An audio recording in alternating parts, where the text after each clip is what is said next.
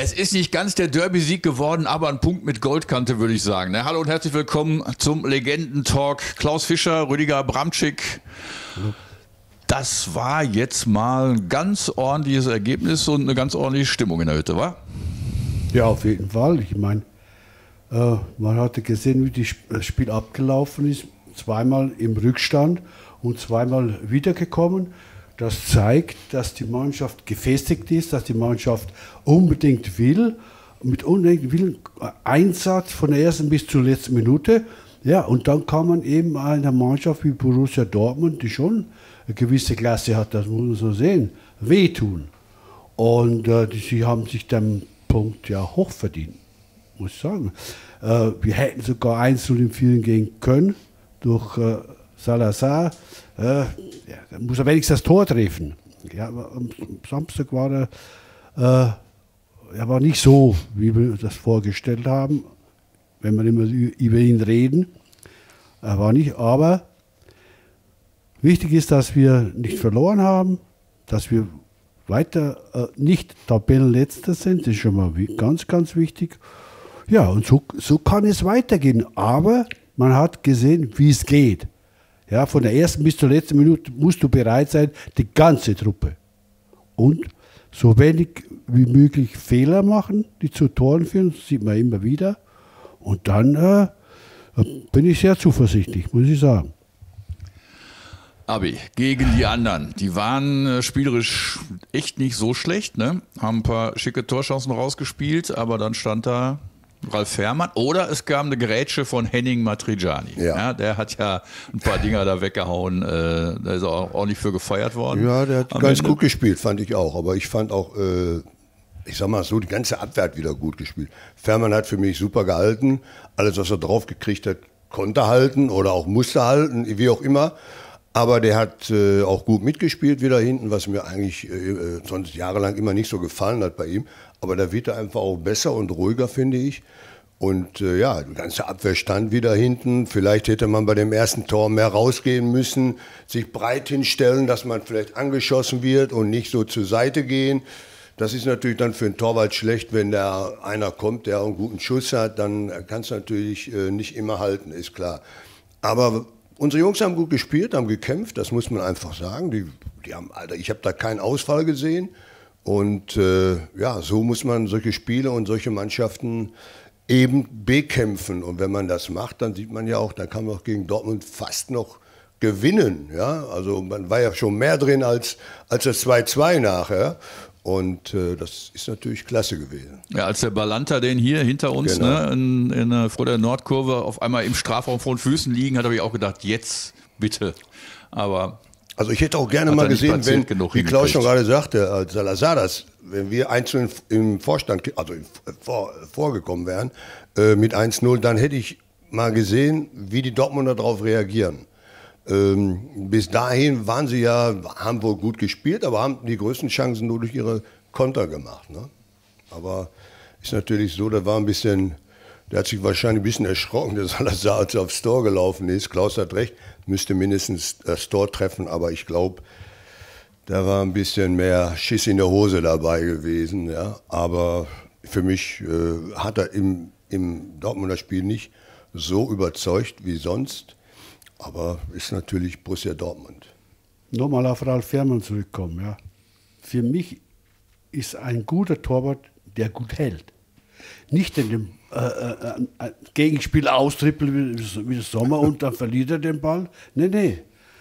Er ist in der Lage, die Bälle sauber anzunehmen, nach außen, links, rechts zu schlagen und macht auch keine, keine großen Fehler. Das ist wichtig. Und er ist ein guter Torwart, weil das ist für mich entscheidend. Weil was nützt es denn, wenn er, wenn er hier einen ausspielt oder zwei und schöne Bälle spielt und dann kriegt er Eier rein? Nee, da bringt ihn nichts als Torwart. Als Torwart musst du das tun, was ein Torwart können muss. Und das kann er. Und nicht äh, von der Presse immer fertig gemacht wird, wenn mal äh, ein Ball nicht so ankommt, äh, wie es normal sein soll. Ja, Ralle ist voll wieder da. Comeback gelungen auf jeden Fall. Ähm, dann haben wir schon gesagt, aufvolle, äh, aufopferungsvolle Defensivarbeit. Ne? Aber ganz wichtig ja auch, wir haben zum dritten Mal hintereinander zwei Tore geschossen. Ne? Und wie die Tore gefallen sind, fällt auch in eure Kernkompetenz. Ne? Das erste über rechts und ein echt schickes Zuspiel von dem Kollegen Frei. Ja, man hat aber auch gesehen, dass Bülter natürlich richtig Gas gegeben hat über den halben Platz. Also der habe ich erst gedacht, naja, den kriegt er nicht, weil er als letzter hinten stand. Also da hätten die äh, Dortmunder ein bisschen abfangen müssen den Ball. Aber sie haben es nicht getan. Sie haben sich mehr über denjenigen äh, konzentriert, der über außen ist. Und Bülter kam so im Rücken rein und äh, da waren sie doch alle sehr erschrocken gewesen, dass der auf einmal drin war. Normalerweise läuft man vor dem Gegner hin und probiert dann äh, den Ball reinzuhauen, aber er hat lange gewartet und die Dortmunder haben hinten ein bisschen geschlafen, das muss man einfach sagen. Ja, aber ist ja ein probates Mittel, dieses Ding so an den Fünfer, dass der Torwart nicht drankommt, aber auch der Verteidiger nicht und du hinten eine Sekunde mehr Zeit hast, um ihn reinzudrücken. Ne? Und frei ähm, müssen wir sagen, das Ding mit rechts Zentimeter genau, die Flanke gegen Stuttgart mit links ja, alles, ne, für Drexler. Für alles jetzt okay, alles okay. Und äh, wir, wo reden wir drüber? Woher sind die Tore äh, gefallen? Durch die Mitte? Kaum. Über außen links oder rechts, spielt alles keine Rolle. Das haben wir ja immer gesagt. Du musst über außen kommen. Wie du über außen kommst, das ist eine andere Frage. Da kann man sich drüber unterhalten. Komme ich am Dribbling vorbei, über außen gute Flanke und eine gute Flanke. Das war ja zu unserer Zeit genauso. Eine gute Flanke ist ein halbes Tor. Das stimmt. Und äh, das hat gepasst, ob der Ball jetzt flach kommt egal äh, wie auch immer, es muss ein, ein muss ein, ein, Zuspiel sein, dass der äh, Mitspieler die Chance hat, ein Tor zu machen. Und das ist äh, in letzter Zeit äh, hat das gut funktioniert. Und das zweite eben auch, da kommt die Flanke von Bülter, der also nicht nur eins macht, sondern auch eins vorbereitet. Hoch diesmal und dann Karaman der Kopfball, Lehrbuch, oder? Ja, aber der Ball, der tickt ja nur auf, der wird immer schneller. Der, äh, äh der hat ihn dahin geköpft, wo, wo er auch herkam. Ja, Was man auch immer sagen, wie, das ist nun mal so, weil der Torwart hast ein bisschen auf dem falschen Fuß und da kommt er nicht mal da dran, egal welcher Torwart das ist. Aber wenn ich ihn da rein, da reinköpfe, wo der Torwart schon hingeht, da holt er mir den aus dem Winkel. Und das ist wichtig. Du musst das wissen als Spieler, du musst das tun im Training, im Spiel. Ist einfach so. Ja, bis jetzt konnte der Kollege Karaman ja noch nicht so viel zeigen. Ne? Jetzt äh, so ein Ding, ist das ein Booster für ihn? Kann er, ja, wenn er jetzt in, in äh, Augsburg vielleicht die rechte Seite besetzt, kommt ja wahrscheinlich keiner zurück. Ne? Kein Kozuki, kein Skake, alle weiter verletzt. Ähm ich, ich würde sowieso die Mannschaft so stehen lassen, wie sie war. Die hat doch gut gespielt. Warum sollen wir jetzt den einen oder anderen rausnehmen? Ich äh, hätte Karaman sowieso erstmal wieder auf die Bank gesetzt und dann vielleicht ein bisschen später wieder gebracht. Aber ich fand, die Mannschaft hat äh, sicherlich äh, gut dagegen gehalten und warum soll man jetzt irgendwie was Neues machen? Also da, dann hast du wenigstens einen, wenn du den schon reinschmeißt hier mit äh, Karaman, dann weißt du auch, ja gut, der hat jetzt Selbstvertrauen, vielleicht äh, funktioniert das wieder.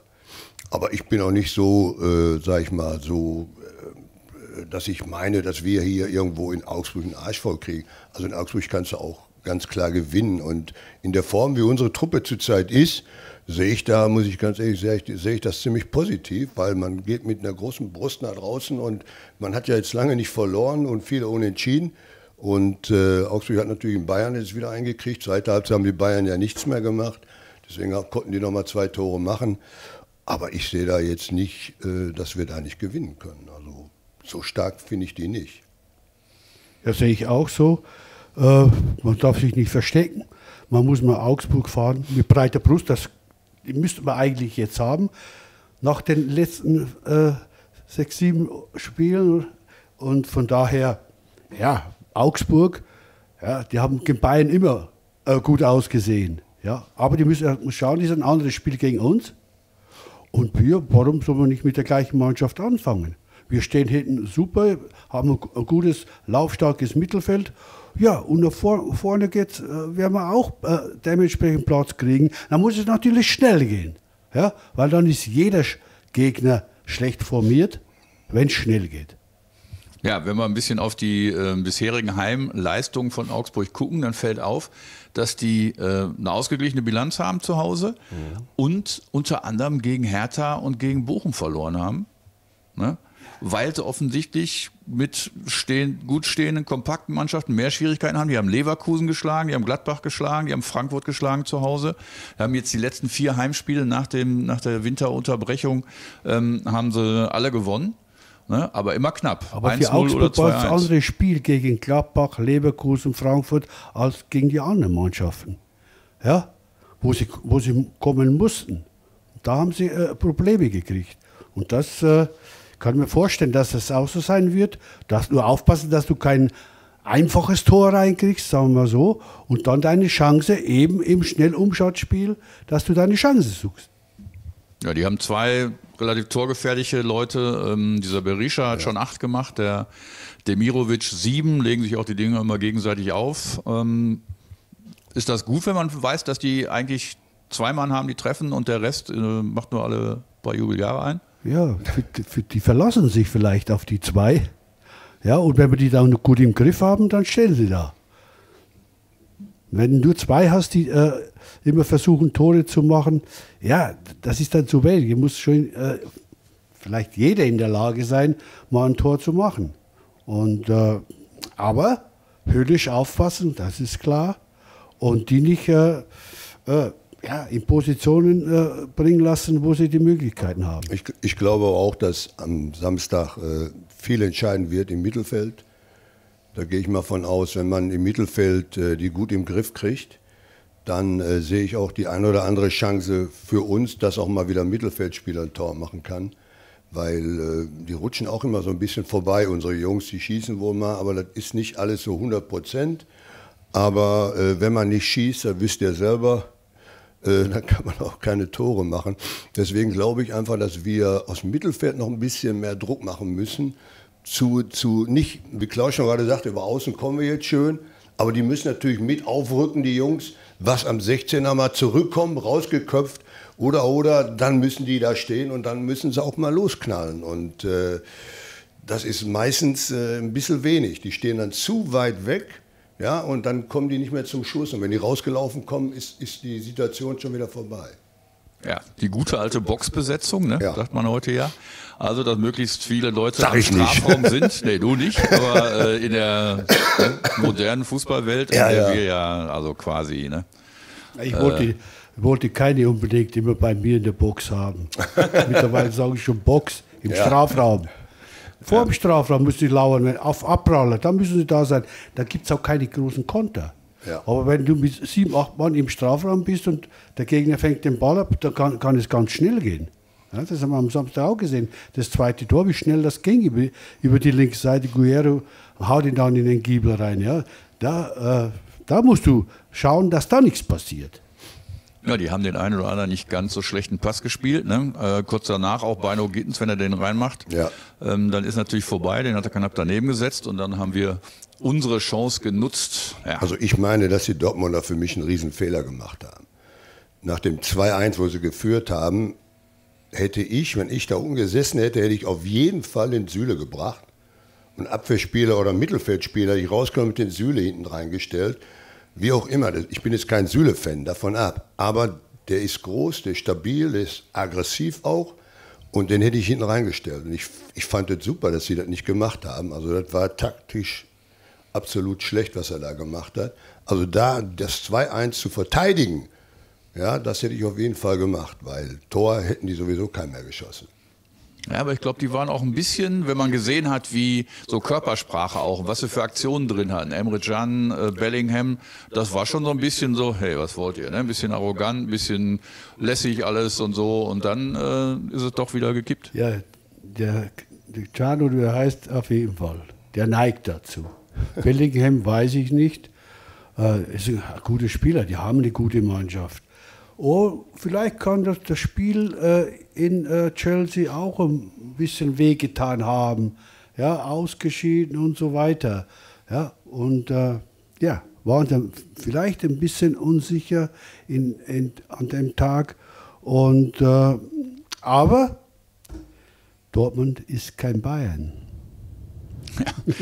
Der Kehl hat ja selbst zugegeben, ne, das war, haben einige wohl zu leicht genommen dann in der zweiten Halbzeit, ne, weil sie dachten, in der ersten waren wir so überlegen, dann machen wir jetzt noch ein paar.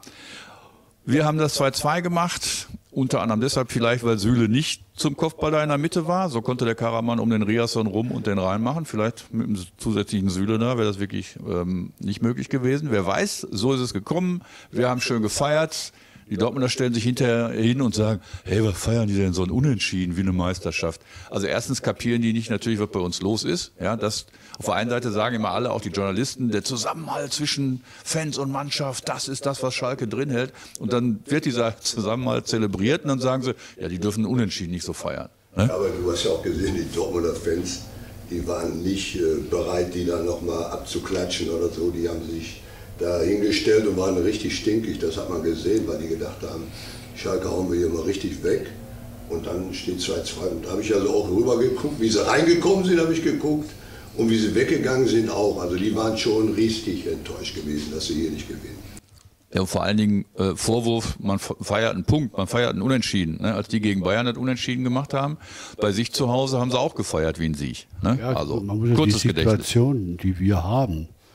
Aber wenn wir an 9., 10. Stelle wären, hätten die das ist ein Unentschieden, vielleicht gegen Dortmund schon, aber auch nicht so gefeiert, äh, weil das schon ein wichtiger Punkt sein könnte. Ja, kommt ja darauf an, jetzt Punkte zu holen, die wir in der Hinrunde nicht geholt haben. Ne? Wir sind fünf Punkte vor im Vergleich gegen dieselben Gegner zur Hinrunde. Du musst gegen, gegen Gegner Punkte holen, wo vielleicht gar nicht mit rechnest hier die Bochumer gewinnen, die verlieren gegen uns zu Hause und gewinnen in Köln. Ja, da war ich ein bisschen äh, echt sauer über die Kölner, äh, dass sie, äh, und die Bochumer haben verdient gewonnen. Da kommt noch dazu. Ja, der Kölner hat sich erst, hat erst das Ding ganz gut gehabt und dann äh, ein blödes Tor kassiert und dann irgendwie sind sie nicht mehr reingekommen. Die haben jetzt auch, glaube ich, von den letzten sechs Spielen fünfmal nicht getroffen. Die haben so langsam einen kleinen mentalen Knacks in der Offensive. Leipzig. Gegen Leipzig, ja. Jetzt am Wochenende, am Samstag, spielen alle fünf Abschießkandidaten.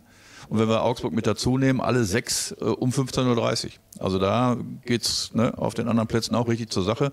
Unter anderem Hoffenheim gegen Hertha. Ne? Da wünschen wir uns ein Unentschieden. Ja, und dann ist, äh, und dann ist äh, Länderspielpause. Der eine oder andere, der ein bisschen verletzt war, der kommt vielleicht auch zurück. Ja, aber jetzt muss, man, muss ein Gewaltakt her Akteur noch äh, in, in Augsburg. Es muss einfach sein, da, da auch einen Punkt wegzuholen oder, oder sogar drei. Ja, und die Chancen stehen jetzt, wenn wir in die Vergangenheit gucken, nicht so schlecht. Wir haben nur ein einziges Mal in Augsburg verloren. Ne? Die sind ja so seit 2010 haben wir gegen die im Pokal mal gespielt. Knapp 1-0 gewonnen, Jefferson verfahren. Danach sind die aufgestiegen und dann ähm, haben wir da nur ein einziges Mal verloren. Die letzten Spiele waren immer Unentschieden, Sieg. Unentschieden, Sieg. Und das letzte war ein Unentschieden. Also. Ah. ja. Sieg war besser, finde ich. Völlig, ja. ja. Wir, wir, wir drücken der Truppe die Daumen. Jo, für Augsburg wäre er vielleicht, äh, rotiert er vielleicht nicht so, aber wir freuen uns schon drauf, könnten gleich weitermachen, ne? müssen wir bis Samstag warten. Unsere besten Wünsche sind mit auf dem Weg und auch an euch gute Wünsche für die Woche. Und dann hören wir uns nächsten Montag. Hoffentlich geht die Serie weiter des Ungeschlagenseins. Danke Klaus, okay. danke Rüdiger. Ciao, Glück auf.